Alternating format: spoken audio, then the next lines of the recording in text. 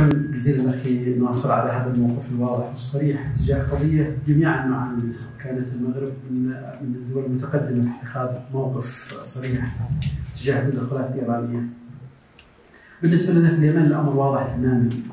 آه، نحن في 2012 2013 في الوقت الذي اليمنيين كانوا مجتمعين آه، آه، بناء على المبادرة الخليجية واليتها التنفيذية في مؤتمر حوار الوطني الشامل وكنا نحاول نلملم اشلاء اليمن وكلمه اليمنيين ونوحد مواقفهم في نفس الوقت الذي كان العالم كله يرعى الحوار اليمني كانت إيران ترسل السفن محملة بالسلاح إلى جماعة الحوثي. وهذه قضية موثقة.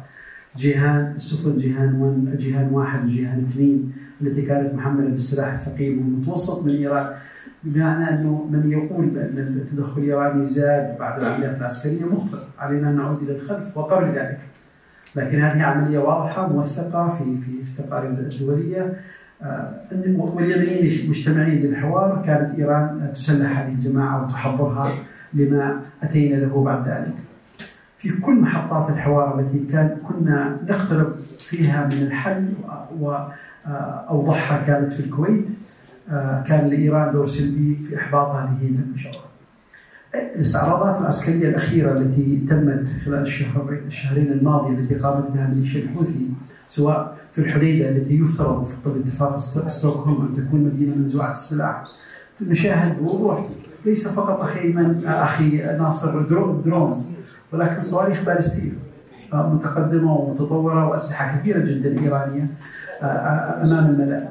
لذلك آه، على المجتمع الدولي ان يكون لديه موقف واضح تجاه المساله، وهذه المساله أصبحت كل تقارير ال panel of experts لجنة الخبراء التابعة لجنة العقوبات في المجلس الامني موثقتها بالتفصيل حول طبيعة التدخل الإيراني. والأخطر من الأسلحة هو خطاب الكراهية وتغيير المناهج والشحن الطائفي في المجتمع اليمني، نحن الحرب ستنتهي غدا إن لم تكن غدا فبعد غد ستنتهي الحرب ستنتهي لكن آثار الحرب